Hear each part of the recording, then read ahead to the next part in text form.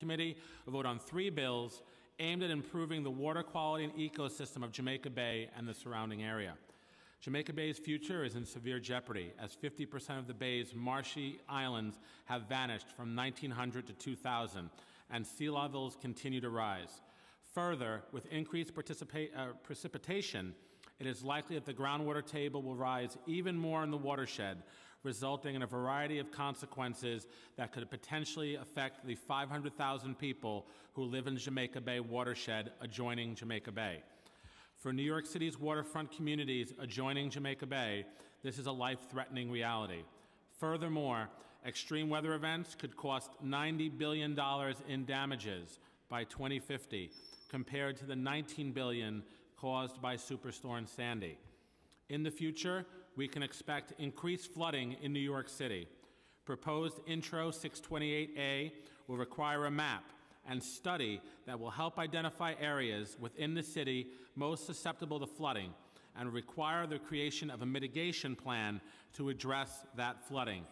This will enable the city and its residents to better prepare for extreme weather events such as flooding. Proposed Intro 749A would require an agency designated by the mayor to study installed geothermal systems in city owned buildings, including any impediments, as well as to undertake an energy modeling analysis.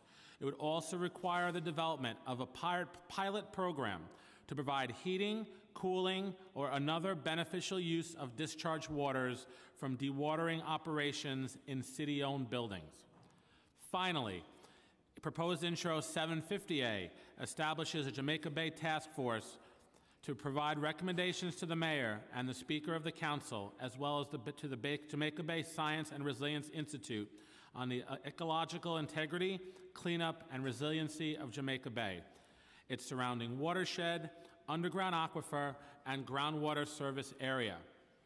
In light of Climate Week, I am thrilled that we are voting on these bills today I want to thank our speaker, Corey Johnson, for his strong environmental leadership. I want to thank my co-sponsors on the bill uh, who represent this area, including Donovan Richards, Adrienne Adams, and Daneek Miller.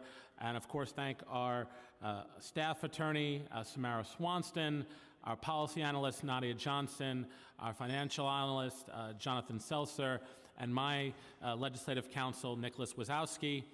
I also want to recognize our colleagues here uh, on members of the committee, uh, Councilmember Espinal, uh, Councilmember Menchaca, and Councilmember Richards, all environmental advocates and, and strong proponents in their own right. Uh, with that, I recommend a yes vote on all three bills.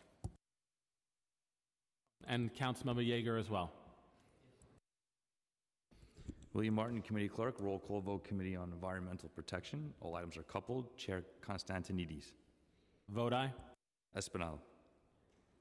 I vote aye. Menchaca. I vote aye on all, and if you could please add me to 628A and 749A. Richards. Aye. Thank you. Yeger. Aye. I vote a five in the affirmative, zero in the negative, and no abstentions. All items have been adopted by the committee. We'll leave the vote open uh, for other.